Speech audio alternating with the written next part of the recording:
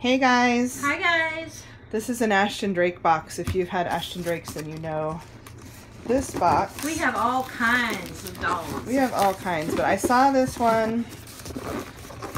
Can you grab the end of that box? I can. I saw this one last year, and I was like, I have to have this. And then I ordered it, and they said it was going to ship November 2016, and I was like, what? That's like a year. I was sweating it. So, but anyway, obviously they shipped it faster than that, and uh, here it is. I haven't decided if this is a boy or a girl, so we'll have to see. I'm so excited to see it. oh my god! It must be good. I gotta um. I can't see it from where I'm at, guys. I gotta move it down a little bit because I don't want to show the little head yet because it's too hilarious. Oh my god. This is so funny. Let's see.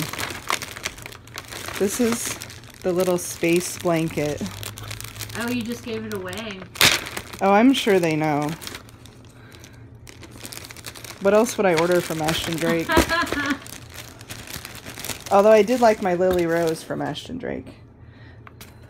This is a little spacey oh, blanket. cool. It's not very big. Well, we'll get another spacey blanket for this little one. This is the certificate.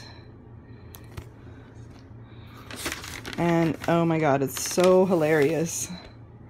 It's so hilarious. I can't wait to see it. I am so glad that You're I got killing me here. this. Pull it out. Oh, box. it's um it's attached like a like a monster high doll. Do you need a, something to cut it? No, I think, oh, it's attached on the head too.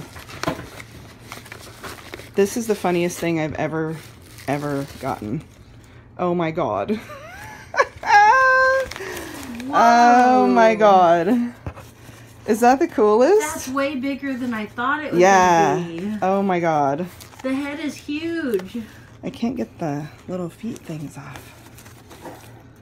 How funny. I wasn't sure because if you guys have ordered from Ashton Drake, then you know that sometimes they heavily Photoshop their stuff and then it doesn't look anything like it. But this is awesome. wow. Like, way awesome. Wow.